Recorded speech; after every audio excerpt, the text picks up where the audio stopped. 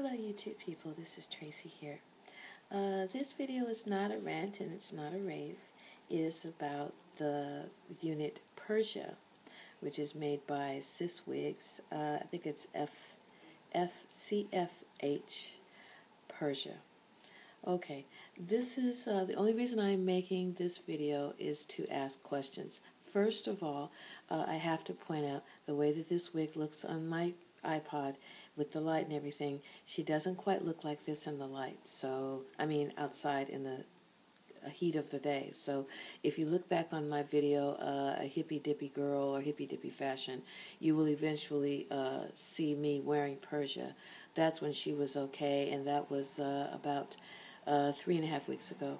Okay, this video is being made simply because I'm going to make it short and sweet. I have questions. Okay, my first question is this goes to anyone who owns this wig. Okay, uh, how in the world do you get the fuzziness out of a curly wig? When I find out, if I find out, I will make a video telling everybody who's ever worn a curly wig how to get the fuzziness out. I'm telling you guys, I have worn this wig for the third time, and this third particular time, she fuzzed out completely only on the ends okay? And the fuzziness is working its way up to even the prettiest part of the wig. And the only part that it's not touching is the part closest to my ears which I don't want to cut as short bob. I don't want to cut it to here. I don't like wigs that short um, okay? So anyway what I want to know if anyone can tell me how in the world do you stop fuzziness like this from happening to a wig as beautiful as this? There are parts of it that the curliness, the ringlets are long, and that's fine with me, okay? But then there are other parts of this wig that are not like that, and I sure wish I could really show you guys what I'm talking about. But it is extremely fuzzed out in so many spots. If I start to cut, I won't know where to be, where to start or where to begin.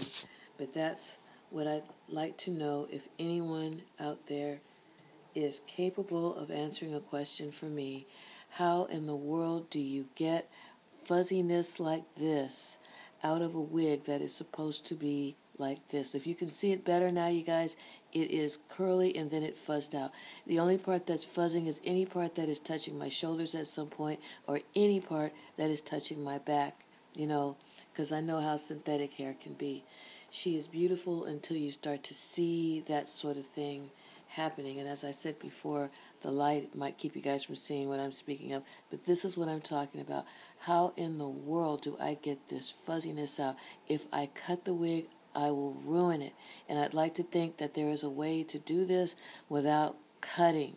So if anybody knows what type of wig conditioner I can use or what you would do if you had this wig, which I don't want to cut her and I don't want to get rid of her because I love it. And I don't want to order another one in the event that it might do this. And I might just have to order another one. But anyway, anybody that has any kind of uh, help out there that can um, tell me what I should do, please let me know so I can do it because I don't want to get rid of this wig. She's very pretty. And as I said before, I'm going to point it out once more. This is what I'm dealing with. Fuzzy, fuzzy, fuzzy, fuzzy, fuzzy. okay? All right.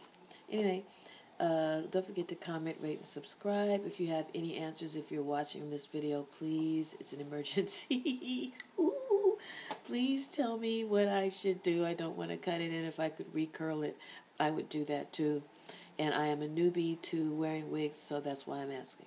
Okay, thanks so much uh, in advance for anyone who can help. All right, bye. My name's Tracy, and Tracy Mallard is my YouTube handle, and buzzybird777 at yahoo is my email. All right, if that makes it easier to contact me. Thank you. Bye.